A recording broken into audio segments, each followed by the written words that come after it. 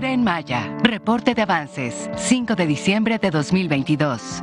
En el tramo 1 avanza la estación de Villa El Triunfo Balancán, con la construcción de instalaciones hidroneumáticas, cuarto de residuos, subestación, circuitos eléctricos, fosas para escaleras eléctricas y cimentación de elevadores.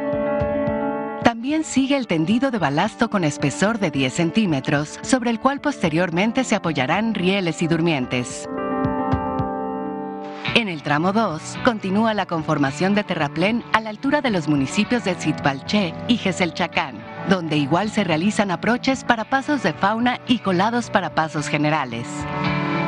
Avanza también la cimentación, armado de varillas y compactación de superficies para la estación Etzna, así como la base de montaje de rieles en ese mismo lugar y el terraplén para la vía que conectará con el libramiento Campeche.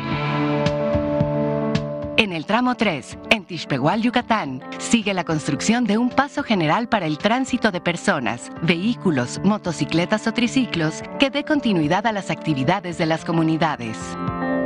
De igual forma avanza la colocación de durmientes, así como la instalación de postes para la catenaria que permitirá la transmisión de energía eléctrica a las máquinas rodantes del tren Maya. En el tramo 4, cerca del municipio de Guaymas, Yucatán, avanza el vertido de balasto como parte de la conformación de la vía. Para una mayor eficiencia en la operación, con apoyo de una banda transportadora se cargan las tolvas balasteras y se distribuye la piedra volcánica sobre durmientes y rieles.